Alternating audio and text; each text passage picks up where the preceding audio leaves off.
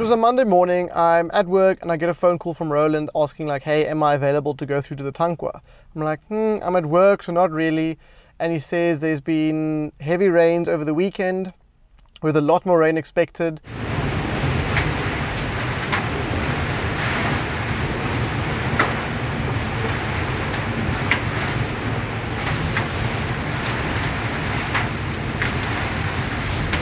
Vessel from the Tankwa Padstal, the bar owner, uh, has his car's fallen down or sunk down to the chassis. He's asked if we can bring him some, some supplies and to go rescue his vehicle or tow out his vehicle because his vehicle is stuck and that's the only vehicle or the other vehicles on the other side of the little new river that started because of the rain and so they can't get supplies, they're out of supplies, the food and things like that. So I told Roland, okay, cool, give me an hour. I go from work, I collect some supplies I need, I pack my camping gear. We literally had an hour. Packed everything in our cars, uh, met at the Terrain Tamer HQ in Cape Town. Uh, three of us met there. So it's me, Roland from My Life in Africa, and Gareth from, or Gareth, Gareth with his Ford. We all came together, and then us three uh, mission through to the Tankwa. Uh, we had all our supplies with us, our own supplies, our camping gear, and some extra supplies we would drop off, some extra fuel, um, and all our recovery gear we had with us. We also had to take with because we didn't know what the situation was there. We only had a few pictures. So us three head out towards Ceres direction. We get to Ceres, we do our last fill up. It's been raining the entire time we've been driving. And then we start heading in towards the Tankwa. We did not even hit the tar, oh, we did not even hit the gravel road yet. We're still on the tarmac pass section, uh, even before the downhill piece into the Tankwa. That long steep uphill, just over that, at the top of that little koppie, if I can say it that way. We already hit our first obstacle. There has been landslides that come down. We come onto the road and there's just a queue of trucks standing. So we pass the trucks and we just see this landslide that has come down across the road. Um, there was a dead cow lying in the road and then just big boulders in the road with dirt all over it. The road is basically gone or you can't see the road for a long stretch. Luckily, most of the boulders have been cleared out and there is a track through. Someone has been through it before us. So we make our way through, past the trucks, make our way over, I think there was three landslide sections like that where we had to cross. But we make our way across. I think it's at the second one we had a Range Rover Evoque uh, who was one of the farm owners there that wanted to follow us in uh, and help him to get to his farm to see if his farm's okay because there has been a lot of water that's come down and they heard of floodings and dams have broken and the Olifants River which runs through the Tankwa and the Tankwa River is all in heavy flood. So he said, cool, we'll assist him. So he's following us. So after the landslides, we're heading and we just see this like ocean of water, uh, ocean river basically, covering half of the valley on our right, just flowing into towards the Tankwa. So we're following this, we just see this, like it's through the farmyards. There was a farmhouse standing and the water's just surrounded the farm and it's just going straight through everything. You cannot stop water.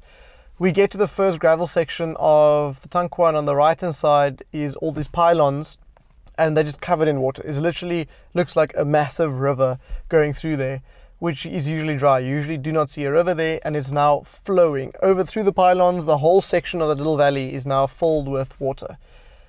We get to that little tar section in the Tankwa. Those of you who know the Tankwa will know where I am.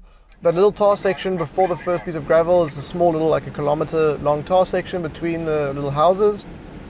And at the end of the tar section, we just see this rapid going over the road. So there's been this, the river that's come down has now gone cross. This is where it's crossing the road. So the river came through the valley and is now crossing the first tarmac of the second gravel section where we have to get into the Tankwa. At that crossing, it is now literally a gigantic river flowing over this road and it's, it's made rapids, big, big, big rapids. So we drive our cars as close as we can to where we can see the tarmac ends, you can see the water drop off. So we drive till there, our wheels are a bit, or just about in the water, about that much in the water. Okay, update. So this is our first obstacle we got to we can't pass. Like it's it's impossible to pass here. The water is just gushing down the whole road. The road's washed away. So I walked down and now Gareth is walking down. But as we were driving, we saw a dam on the right hand side of us with a dam wall broken. So we we're like, oh look, this dam wall has broken. And then we got here and we've been standing here for about half an hour and when we got here, our vehicles were just standing there was in the water. We were about ankle deep in the water and we stopped there because we could see where the end of the road ended.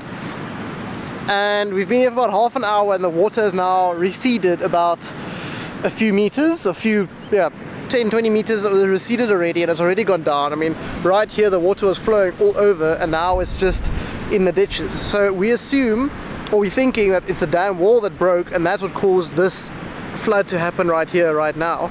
Because we did hear of people going to the Padstal already yesterday um, and it didn't rain that much on our way here for this amount of water to come down. So we are assuming that it's the dam that burst and that's what's caused, caused this flash flood to come through here and block our road. So we're going to wait like another half an hour to see if the water settles, if we can manage to find our way down, to see if we can drive, like we'll have to 4x4 our way down. Um, we're first going to wait for the water to settle before we can attempt that. I think we stood there for about 45 minutes to an hour. We stood there and then most of the water has cleared. It was quite fascinating to see how quickly the water receded, but what we later found out is there was a dam that burst. So all the water that filled over the weekend of rain, plus the extra water that flowed in from the mountain on this Monday while raining, caused the dam to burst. And then that we assume that is what caused this flood in front of us now, was the dam that burst, all that water that just came rushing through at once. Nevertheless, we make our way through. Roland's leading the pack. We find our way through. It's not too soft mud. We make our way through and we head into the Tankwa at the crossing that heads towards um, Rivier side or to in, uh, Game Farm, there the river is coming strong over there. Luckily, we don't have to go that direction, um, but you cannot. It would be impossible at that stage of time. So we head straight into the Tankwa. We go past Swartkorp's guest farm. We can see the entrance is completely washed away. As we're going down, it's not far. The road is it's just water everywhere. We at one point I think we drove about three kilometers in the road, but it has now become a full on flooded river.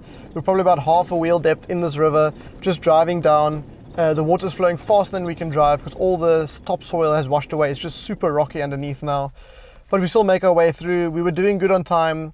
Every now and then we'd have like a few puddles of water. We'd take it slow. Nothing too serious. Some deep-ish bits, but nothing too bad. The only place we got stuck is about, I'd say, three kilometers from the Padstal there was some water coming over.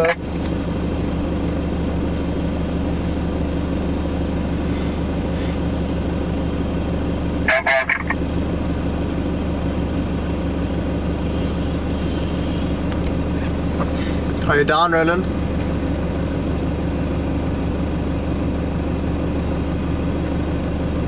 Yeah, you might need to come in and recover yourself.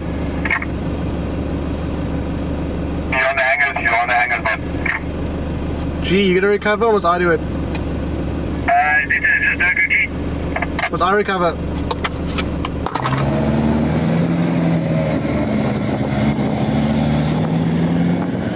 Right, so I got stuck here.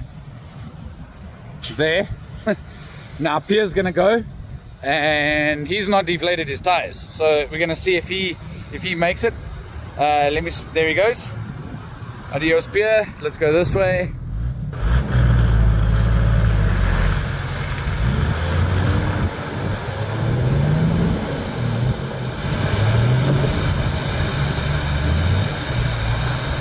There you go. That's how it's done. Bit more speed. so now we're gonna speed up and we're gonna go through there. We saw how it was done. Now we're gonna get our three vehicles in and out. We also had another trooper join us. He joined us, he found us while we were waiting for the water. He also had a call to come in to bring supplies. He had roofing supplies for one of the farm houses which, which roof blew off. They had insane crazy winds the night before, like hurricane speed winds with rain coming down, and they just ripped the roof of the one house. So he has housing supplies or roof supplies with him to take into the Padstal. It wasn't much further than we reached the Padstal. Like I said, there was water everywhere. We drove to the entrance at the crossing, the T junction for the Padstal. We probably about bumper deep through the water there. The Tankwa Padstal sign is just floating in the water next to us. And the Tankwa Patstal is where we would see ourselves for the night. That would be our base for the night. Uh, we, it was already dark. The last like 10 kilometers we drove in the dark. So we did not uh, we did not want to attempt the last bit of mud and water in the pitch black. Uh, we had no idea what was ahead of us, so we thought, okay, cool, we'll sleep in the Padstal. So we made our camp in the Padstal that night. We slept there, and then the next morning we would attempt the rest.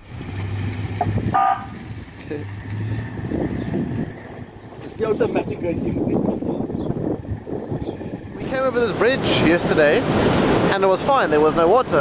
And now the rescue vehicle that was there that wanted to head back, uh, I was scared they're going to get stuck down the one hole we got stuck at last night, so I just came to go check on them. And while it seems like the water has risen, so now we are actually stuck as well because the only way out is by the green sign up there or carrying on on this road. And if we can't cross this, this road, then we're also stuck in here now. So it seems we're also stranded at the moment, but that's fine. We have to spend the day here to rescue a vehicle, and to take some supplies to the farmhouse, and have to head 40 k's up towards Calvinia side to go help uh, restore a house there, put a roof on the house there that's been blown off.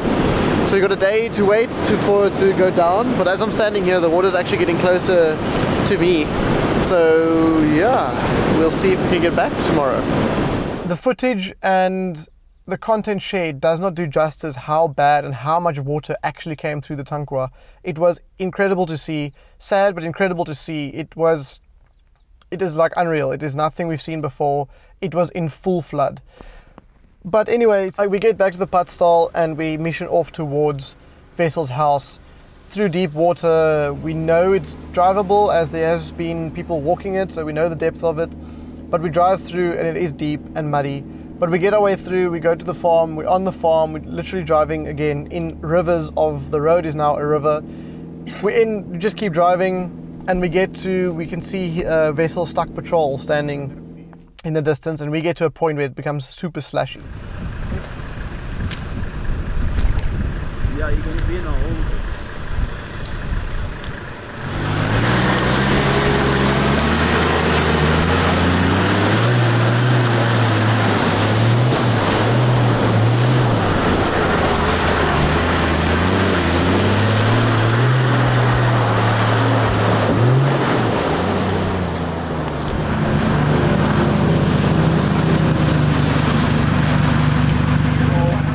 patrol is down. It's up to the like running boards in sand and then the water above that. The water is just like touching or like just on the edge of the door. The front bumper is in the water, the number plate's in the water. So we survey the area, we decide, we're trying to see what we can do. The problem is, and what a lot of people don't understand, uh, is the video footage is only showing a narrow perspective of what we could see. As we're walking there, the ground looks hard, or it looks muddy, but it looks hard-ish. You walk, you find you just it's slushy, it's muddy. The next step you give, you literally knee deep in mud. You just go sink down into knee deep mud, and the next step is up high again. So there's these random holes, these random deep mud sections, which from the surface level you can't see, but as you walk it, as you put pressure on it, as a human, you sink in. Just imagine what a three ton car or a two and a two ton car would do in that mud. So we survey the area, we're trying to figure out how we can get further. We end up carrying some of the supplies from where we left our cars. It's about, I don't know, 600 kilometer walk. We carry the supplies to their house. Now we're standing there deciding what to do. We have our recovery gear here, but we can't get close enough. If you don't stay on one specific little path, as soon as you go off that path, you will sink down, which we learned. But I decide to, I walk from the hard, because I, let me explain. He has a dam behind his house, and that dam has overflowed, causing a river to start form on the one side of his house, where it's usually on the back of his house, is now coming past the front of his house. And he drove from the Padstal, he tried to drive home, and then just caught him, got himself caught in this deep mud section. This is the section where on the right of the patrol you could walk and it was hard-ish, but as soon as you walk on the left of the patrol, you literally sink knee deep in the mud. I'm not even joking, it's this slushy mud. You just go down knee deep so he ended up by unluckily he caught that hole in the water and in the mud which he couldn't see the hole. He drove into it and then he got himself stuck. And in the attempt to get out the mud ended up in everywhere. It's in the chassis it's in the wheels it's in the brakes it's in the clutch. Um, so trying to get himself out he burned the clutch out or the mud got into the clutch and it just ruined it. So the car had no drive. The car was completely dead. You could start it but you could put it in any gear you wish. It just not did not do anything so we're standing there trying to survey this situation, trying to figure out how we could get his car out, and it was just near impossible. As soon as you go off that hard track, which I walked and I found the two spurs, which is sort of doable, you still have this much of just slush mud, but below it, it's sort of compact, of what it feels at least. So I survey a scout a route, and then I told Roland them, okay, I'm going to attempt to cross it. As soon as you're in the water, the water sections is fine because there's no loose mud and sediment. It's hard, compact sand under the under the water. But in front of the patrol, there's probably about a 10 meter stretch of of water, river basically now, where we have to get across. And on the other side of that, the hard is hard, compact ground. But to get there, we have to cross probably about a 200 meter stretch of soft mud, and not knowing what it is underneath the mud. If there's holes, if the car's going to sink, nothing. So I told Roland, okay, I walked a route, I solidly walked a route which I think is doable. I must just keep foot flat, keep momentum going, and just see if I can get it through. If I get stuck, I get stuck. So I get in my car, I walked my exact route, so I pinpoint my exact route, go over some of the bushes, go right at the patrol, I have to hug the patrol, because um, that's where the hardest route is, and try and aim for the bushes. I know it's not nice to drive over the Tankwa bushes, but in the, or off the track actually in the Tankwa, but in this case we had no choice. There was no roads left. Everything's been washed away on his farm. Um, and if you aim for the bushes, that's where the harder soil is. So it would help us just to gain traction to get through.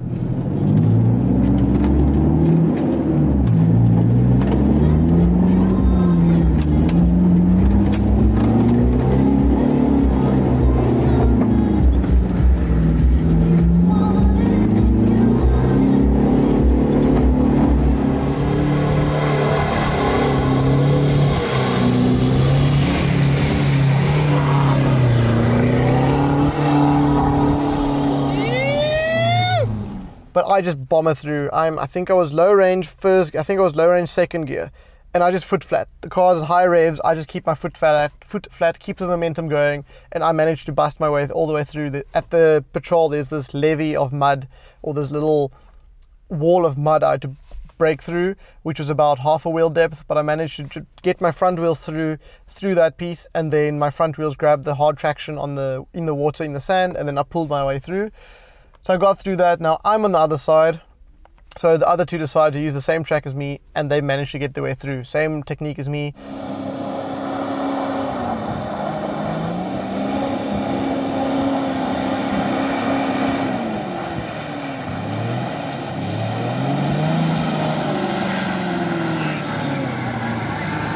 They managed to get through. So now we're on the hard swell the opposite side. But the problem is we can't get close enough to the patrol to try and hook it on because if we're standing in the water, we literally sink as you stand in the water. So we attach a few ropes together to the hardest point where we can, as far as we can get back, and we try and snatch the vehicle. But this mud is solid.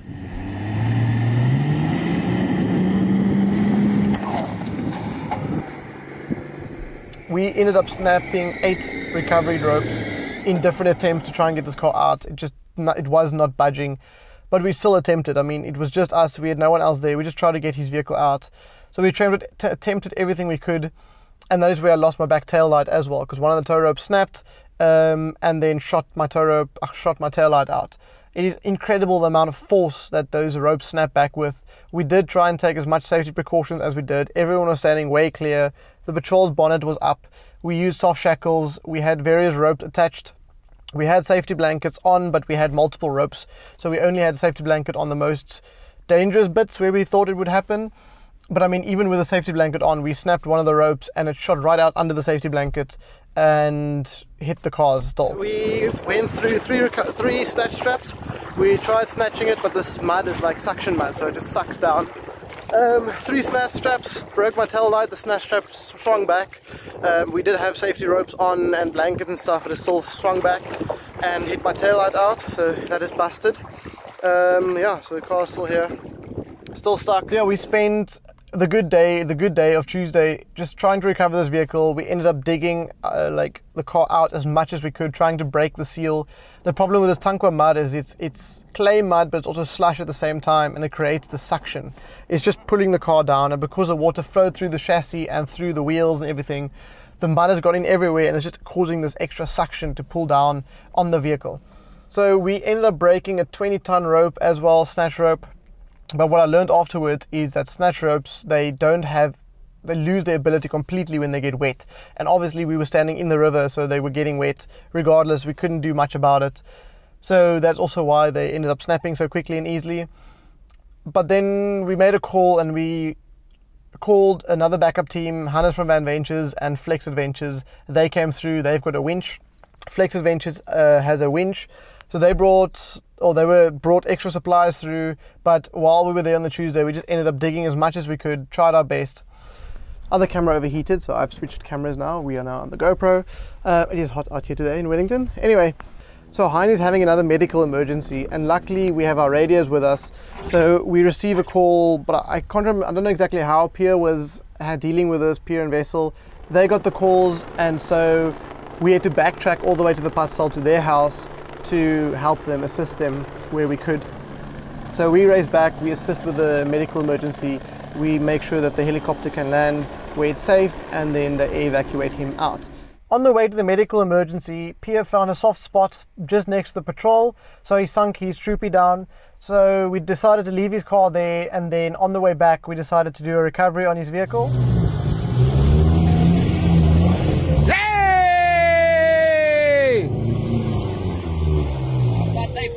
Tuesday night, I think about seven o'clock or eight o'clock, the backup team arrives, Hannes them arrive. So here it is to show how soft this mud is. Roland left his car on the other side of the river because he did not want to cross it again because we were supposed to go fetch Hannes and flex them, Ivan them at the Padstal to guide them the ro- roads to get here. We, uh, Roland and I walked back to his car to go and get them at night. He reverses off the track, just his back wheels are off the track as he attempts to turn around. And as he back as he reverses off, as, as his back wheels leave the hard track we found, they just sink. And his back wheels are gone under the mud. Hannes them, our Cape Town crew have arrived. Hannes and Ivan them, they see the lights behind me over there. And we were supposed to get them in the Padstal, but then Roland decided to go get himself stuck. We just pulled out Pierre with his troopy. Tried to get myself stuck. I, I shouldn't have done the U-turn. You still chose your route. U-turn. but yeah, he is properly down. Both sides, almost whole wheel gone. Patrol standing just over there. Hannes them over there. There's the guilty one over there. So we're standing there, we can't get out. We try the Maxtrax under the wheels. He's stuck. His car weighs a lot. Um, and it's just mush. It's mush mud. We can't do anything. He is stuck. Thankfully, Hannes and Ivan them uh, and Wayne find their way to us. And now we try and recover this vehicle, Roland's vehicle. Hannes tries to drive off the track another time to position himself so that he can tow Roland out. But as he drives into the mud, you just see his car sinking. So he bails from that. Luckily, manages to get him to get his way out. And we spent another probably hour trying to recover Roland, and finally we managed to recover him. We had to recover him at odd angles, but we got him out. So we spent the night at Wessel, and then Wednesday morning, our goal was to get this patrol out. We get there nice and early. We've dug out most of the patrol. The water has receded quite a lot, and the sun has been baking on the mud, so it has dried out a good amount, enough for us to dig even more. So we ended up using four vehicles to recover this patrol. The Mitsubishi Colt from Flex Adventures had a winch. So the winch was hooked up to the patrol with Roland as the anchor vehicle behind him. And on the opposite anchor point or opposite recovery point of the patrol, we had Hannes from Flex Adventures and Ivan with his Pajero. What has he got? And Ivan with his vehicle on a tow rope, a solid tow rope, not a snatch. That's the winch car over there, winching, and then these two are on snatch ropes that'll tug every now and then to hopefully that'll break the seal, and this will just move the car forward a little bit. That's the plan. The problem with that mud is, or the benefit or how to deal with that mud, let me say it this way, is you must just break that seal. Once you've broken that suction from the mud, the vehicle is quite easily to be able to recover. Um, but with the snatching and even with the tow ropes, we weren't able to break that seal. The, the solid winch pull um, helped with the, I think it was, we, I think we double lined it, but the solid winch pull plus the other two vehicles slowly doing a little tug helped to break the seal and we managed to pop the car out and then we tow it back to Wessel's house to leave there for cleaning and for further repairs. So patrol has been successfully recovered, but now we have to get back. And we thought, okay, cool, we'll just drive the same way back we came. Little did we know that we've driven it to pieces now with extra vehicles coming in, that the out will be a lot more difficult than the in. We finally managed to save the patrol, which was there somewhere. Now we're trying to make our back way back over the river, and we have three cars stuck. One, two, three, and two recovery vehicles on that side, and I'm just waiting my turn over here. See if we can make it through. We uh, did got the patrol out and then um, the rest managed to get stuck. so we are at point A again. Point A, new day. Yeah. It's all fun and games.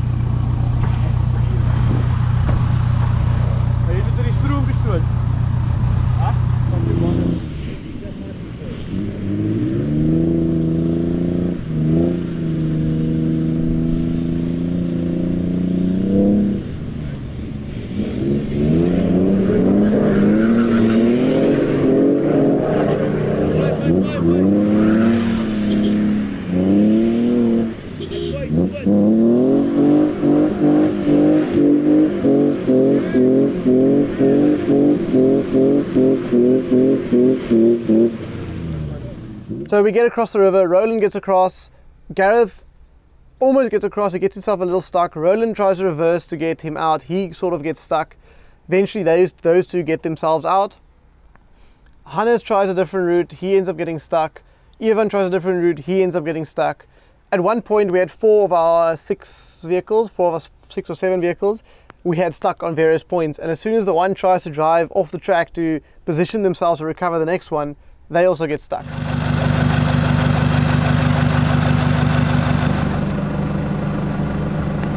rechts, links, rechts, links, rechts, links, rechts. Kijk een beetje terug, Stuart.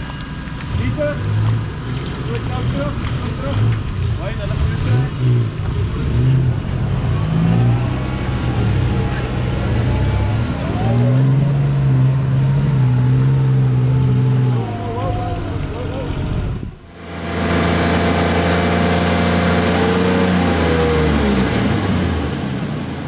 terug.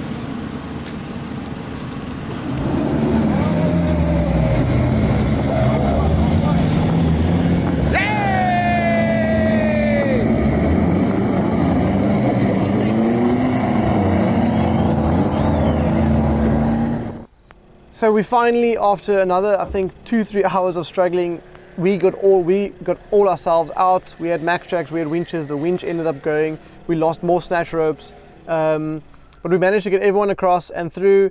And then we had Wessel bring his other small Pajero across, so that he at least had one vehicle. He left it on the other side of the new river, so that he could at least move around, not be stranded on his farm again.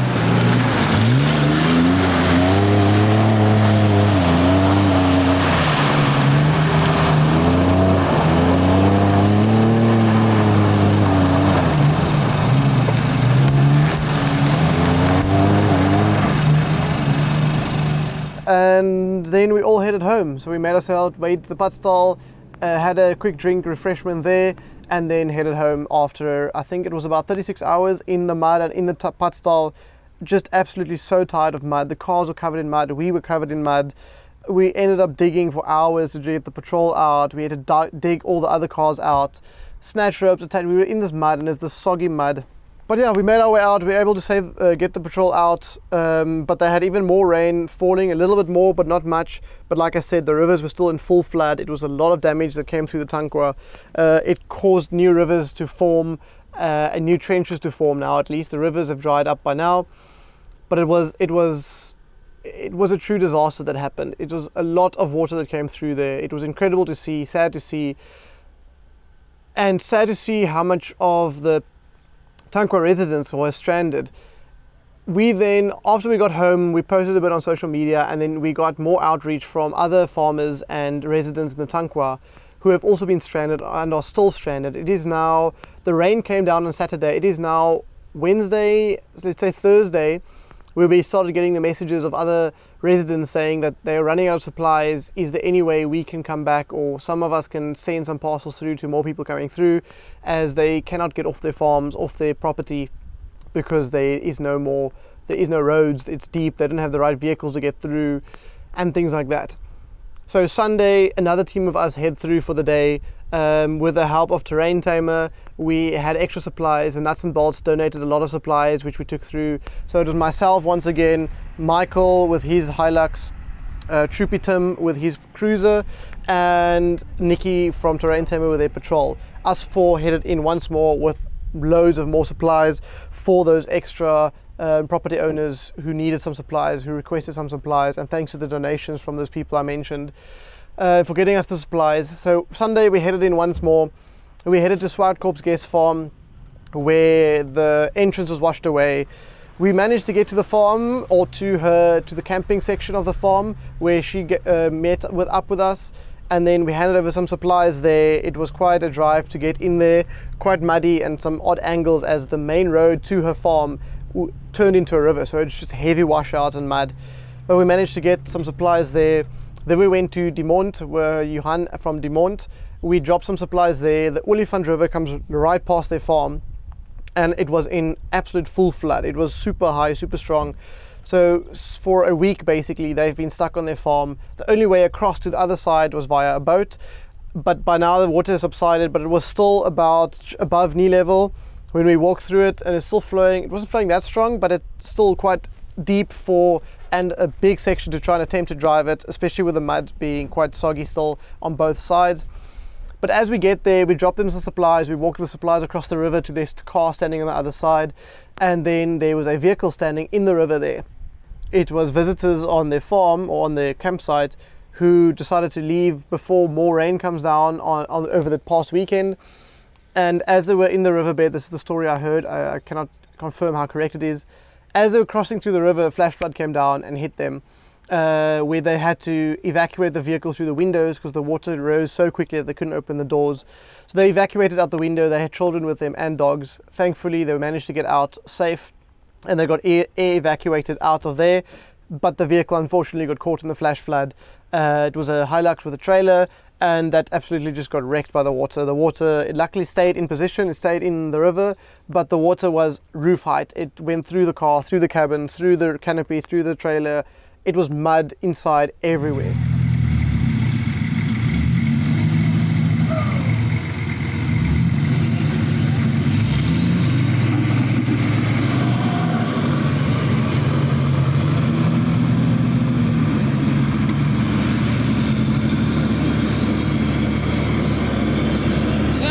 Go, go, go, go. Go, go, go, go, go. Yes. Something what I never could expect. Woo! There's come the last one. The one is in trouble.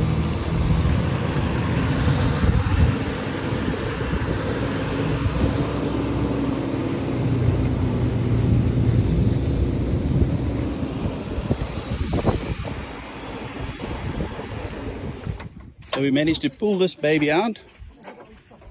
Oh my word, this is my first time looking inside. This is going to be, there's actual mud on the top. This thing must have been flowing through here. No, there's a line on the window. Look this side. There's a line on the window. Small children were in this thing when it happened, eh? Whoa. This is crazy. It just shows you guys, be careful with your water crossing. Be careful with your water crossing. There's actual mud. This thing's full of mud inside. That's a write-off. Ja, nee. With all the ECU's and wiring looping. So this is the back door, and that's the line where the water was up to and flowing. Baie best skaf op.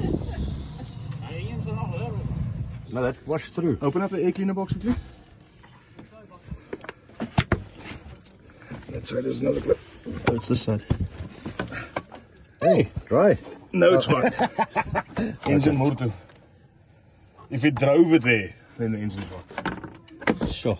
It's because he had a flatbed coming to rescue the vehicle, but there was no ways this flatbed would have been able to get this vehicle out of the riverbed where it was standing. The vehicle was so heavy due to the amount of mud and water inside this vehicle still. We hooked up three vehicles. It was myself, the patrol, and the troopy. We hooked up with tow ropes. I drove in as far as I could, uh, and even I myself struggled to get there, so we had to put Maxtrax under just to get me some grip. And then we hooked up three vehicles and we towed this thing out. Um, it wasn't that difficult, but it, it needed a lot of power to pull out. You could feel the weight of this car was insane. Just to open the bonnet of that vehicle needed two people of the amount of mud that was inside the bonnet lining. So yeah, we managed to rescue that vehicle, put it onto dry land, onto a hard surface where the flatbed could come and get it later the week. And then we headed to the Padstal once more to survey the patrol, and then we had uh, Wessel's patrol where we did find that the clutch had seemed to have a lot of mud in it, and it wasn't engaging, and it was basically ruined by the mud. The mud has just chewed the clutch away. So that is how we ended our Tankwa mission. On the Sunday afternoon, we had one more drink at the Padstal before we headed home. We are thankful for all the donations we had, and we are thankful that we were able to help the people in the Tankwa. We are always in the Tankwa as a 4x4 community, and a lot of events happen in the Tankwa, and we, they are always so catering to us and so helpful to us when we're there, making sure we are fine. When we get punctures, they are there to help. So it was nice to give back to help them to when they were in a situation where they couldn't help us, where we could help them. Um, but yes, it was it was an absolute mission. It was fun looking back at it. A lot of our cars came out with damage there as well. The mud mud just ruins a car. I learned the hard way. Yes, Henry from Zombie Off Road always tells me that, and now I believe him. Um, I'll still end up in the mud though but it was fun. It was an awesome experience. We are again thankful for the donations we had to throw into the Tankwa to give the uh, property owners get them through that week, the tough week, and to be able to be there and rescue and see the Tankwa in that situation. It is most likely a once in a lifetime moment we had there. But yeah, it was a great adventure. I hope you guys like this content. We tried to film as much as we could, but we were there to help. So a lot of times we just put the camera down and assisted. Um, but at least I can make this bit of a video for you guys. So hopefully there's more adventures to come. Hopefully not as much mud as this one, but there's definitely more adventures to come. Cheers.